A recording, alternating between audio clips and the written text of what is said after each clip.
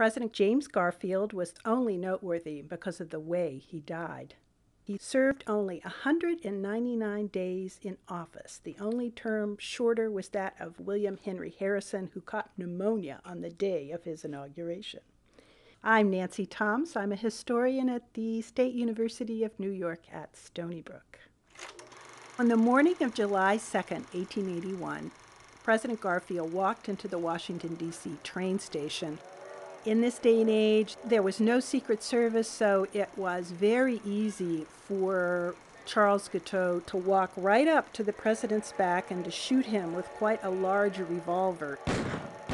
The president fell to the floor of the train station. He'd been shot, grazed in the arm, but the worst wound was the shot to the back.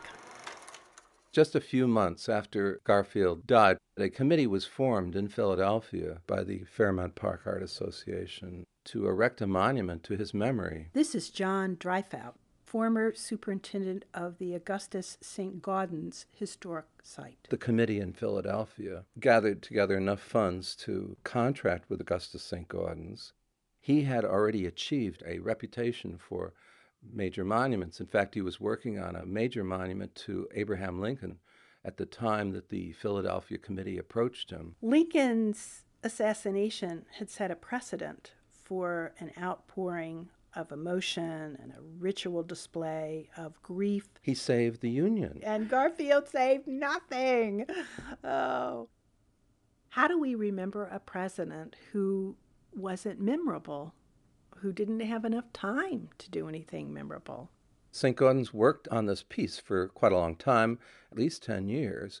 During that period of time, the committee, of course, went through various stages of irateness, concern that their piece was never going to be finished. There's one particular instance in which Saint-Gaudens was writing to his friend, Dear Stan, I am dealing with a committee now with whom I am not on very pleasant terms. It would take me a week of Sundays to explain to them that the monument would be finer than the watercolor. The bust that we're looking at now of Garfield was done from a death mask. This is Frank Bender. Yeah, from Philadelphia. I'm a painter, sculptor, and I also do forensic art. The death mask is a big help for a sculptor because it gives you the exact size of the individual's head, proportions, and everything. Making a death mask is taking the body and pouring plaster over the face. His hair would have had to have been heavily greased or vaselined, including his eyelashes.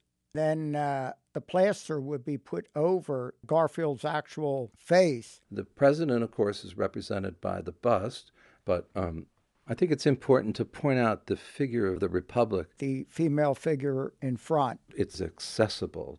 It's not on a 20 foot pedestal. This figure represents the nation, if you will, because the nation was what was harmed by this destructive thing that happened, this assassination. Garfield's assassination forced Americans to think about the office of the presidency Imagine for a moment that no monument had been erected to Garfield, that he'd been dismissed as insignificant. That would have been an insult to the presidency.